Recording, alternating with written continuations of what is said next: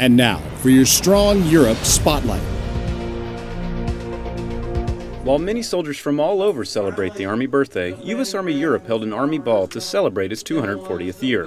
Lieutenant General Ben Hodges, Army Europe Commanding General, shared some history behind the Army's birth. The leaders of the colonies knew that there was no way that we could make a credible Declaration of Independence. It would not mean anything unless we had an armed force, somebody that could make this a legitimate claim and declaration. Receiving a special invitation, the President of Estonia, President Toomas Ilves, attended the ball as the guest speaker. It really is a genuine honor for me to be here. The U.S. Army is just a great institution that has done such wonderful things. For people like me and my compatriots, for whom the United States has been a beacon for 70 years, we are grateful for your presence in Estonia. General Hodges later presented President Ilves a Remington statue and thanked him for joining them on the occasion.